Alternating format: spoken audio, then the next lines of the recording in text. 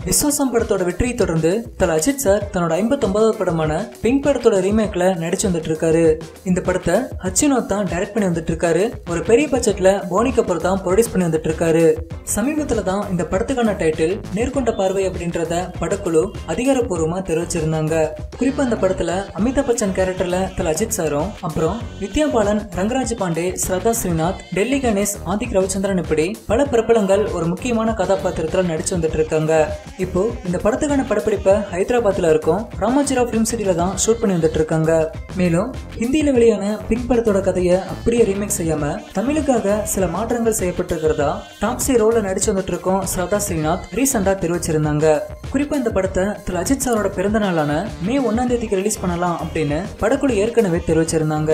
ஆனா ஏற்கனவே அஜித் சாரோட நடிப்புல வெளியான விசுவாசம் படம் இன்னமும் நூற்றுக்கணக்கான தேட்டர்கள்ல வெற்றி நட போட்டு ஓடிக்கிட்டு இருக்கிறதுனால அதை பாதிக்காத வகையிலும் மேலும் ஏப்ரல் மாதம் நாடாளுமன்ற தேர்தல் வர இருக்கனாலும் நேர்கொண்ட பார்வை படத்தோட ரிலீஸ் தேதி தள்ளி போயிருக்காம்.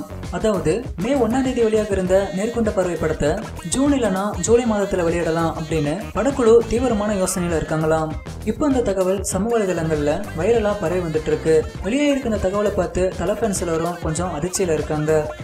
சரி ஓகே ஃப்ரெண்ட்ஸ் மேற்கொண்ட பார்வை படத்துக்காக நீங்க யாரெல்லாம் அவ்வளோ வெயிட் பண்ணிட்டு இருக்கீங்க அப்படின்றத கீழே இருக்க கமெண்ட் பாக்ஸில் கமெண்ட் பண்ணுங்க. இந்த வீடியோ உங்களுக்கு பிடிச்சிருந்தா லைக் பண்ணுங்க. உங்க நண்பர்களுக்கும் ஷேர் பண்ணுங்க. மேலும் இது போன்ற வீடியோக்களுக்கு தமிழ் தமிழ் சேனலை சப்ஸ்கிரைப் பண்ணுங்க.